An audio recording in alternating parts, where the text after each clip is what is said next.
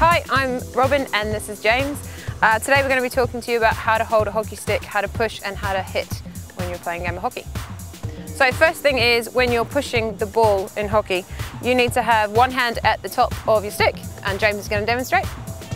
And you can see that he makes a V with his hand, make a V, and it runs down the whole side of the stick.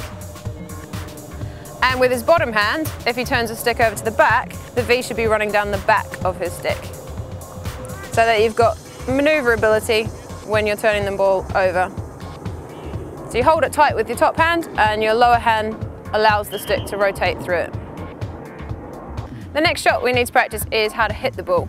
So instead of having your hands separate, this time both hands are towards the top of the stick and you see that both of the V's run down the spine of the stick, down the side.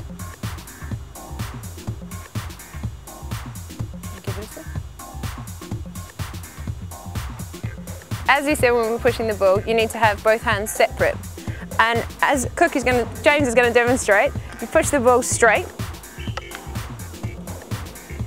Or, because your lower hand is loose around the stick, you can switch the stick over in your hand to get more of a reverse shot.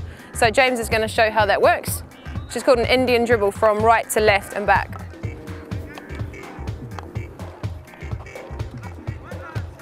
So this type of movement, the Indian dribble, means that you can move the ball around players a lot easier and escape down the pitch.